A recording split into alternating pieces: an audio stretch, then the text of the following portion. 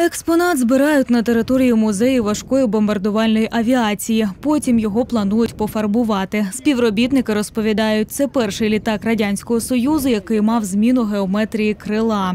Літак Су-17 М4Р це літак бомбардувальник-розвідник. Безпосередньо цей літак був виготовлений ще на початку 70-х років. Безпосередньо на озброєнні він був до 2004 року.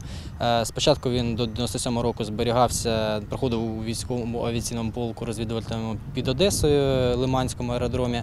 Потім був переведений з 97 року по 2004 роки безпосередньо під Івано-Франківськ Коломию. До того, як потрапити у Полтавський музей, експонат знаходився на території Запорізького державного авіаційно-ремонтного заводу. Ще раніше літак застосовували у низці військових конфліктів, зокрема в Афганістані та Перу. Вночі, коли були військові дії в Афганістані, піднімали приблизно від 4 до 6 таких літаків одночасно.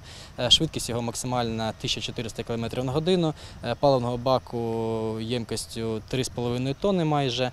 Е, Безпосередньо саме е, екземпляр, цей, який ви бачите, він має е, ще навісне обладнання саме для аеророзвідки. Після послаблення карантину музей відкрили для відвідувачів 26 травня. Побувати можна на майданчику просто неба та парковій зоні. У приміщення поки не пускають. Подивитись на літаки приїхала й сім'я з Чернігівської області. Ми вперше після послаблення карантину рішили з сім'єю відвідати музей авіації. Це так чоловіку і дитині більш подобається. Сьогодні всі вихідні, ну трошки Полтаві в справах. І вирішили вже так по дорозі заїхати, подивитися.